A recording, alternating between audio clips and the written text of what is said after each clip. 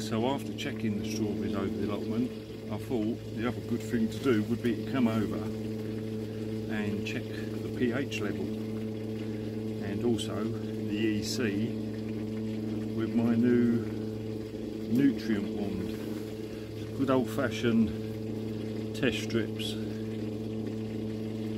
into the water. That looks a really good pH actually. I'd say that's about six. Dead on six. So we're happy with that. The next thing is this new nutrient wand. For anyone that hasn't seen one, look them up on YouTube. They really are good. I had the little Chinese EC reader, didn't get on with it. With these, they're automatic on and off.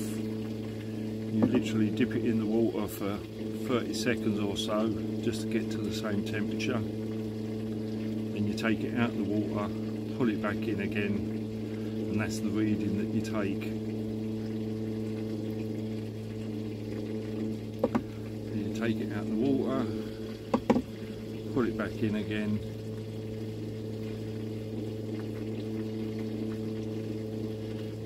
we're getting two flashes of that on the CF. The EC is 0.6, but two flashes means it's actually 0.5. I want 1.6-ish.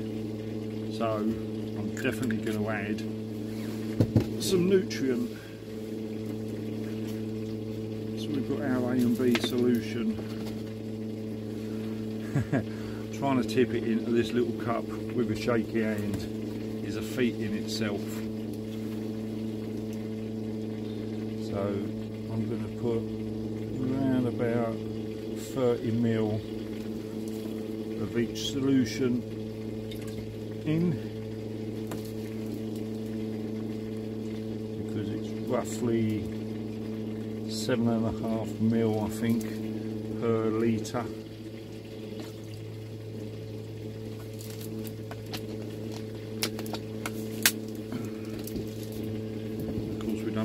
underfeeding these guys. You notice I call everything guys, I don't call them girls. I wonder why that is. is it something to do because when I had motorbikes, you called them girls. But with plants, it's guys. Sod nuts. Maybe it's just East London in me. Right. Give that a bit of.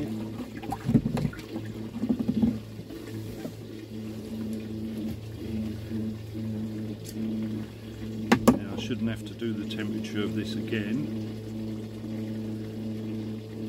Now we've just raised it. I'll say that's now 0.7. Perhaps I should adjust the camera so you guys can see it.